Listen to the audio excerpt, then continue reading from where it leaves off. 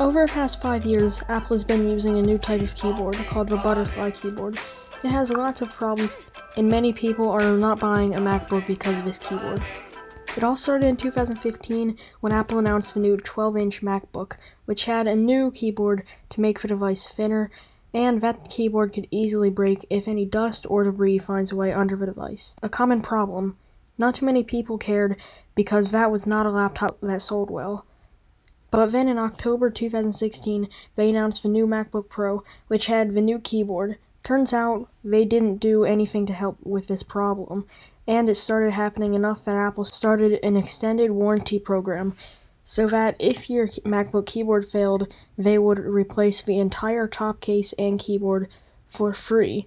But they didn't do anything about it. In 2018, the new MacBook Pro came out, and it got added to the warranty program immediately the day that it got released. They also announced the new MacBook Air in October 2018 with the new keyboard. There was only one MacBook without this keyboard problem on their website, and that was the old MacBook Air 2017. In summer 2019, they refreshed the MacBook Air and MacBook Pro, and they got rid of a 12 inch MacBook and the 2017 MacBook Air. Every Apple laptop on Restore had this problem. Finally, in November 2018, they released the new 16 inch MacBook Pro, which reverted back to the old keyboard.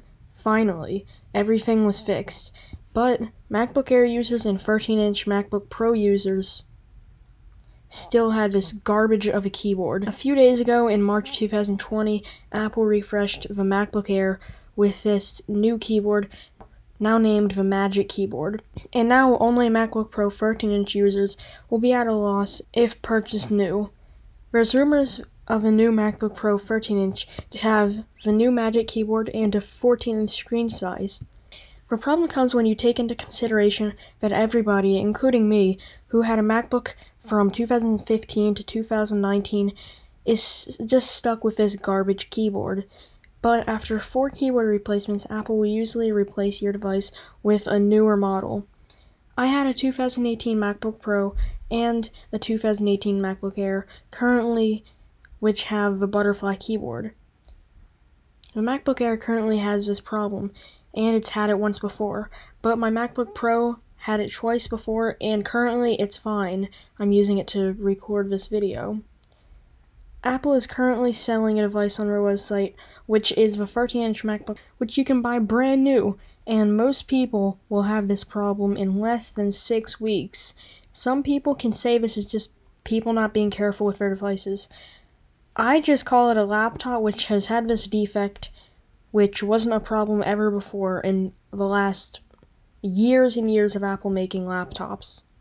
Apple didn't listen to their customers for five years. Nobody wanted the MacBook Pro to be thinner and we got a bad keyboard in, in exchange. Some people just don't like the butterfly keyboard because it feels terrible. And Apple didn't give you any alternatives except an external keyboard until now.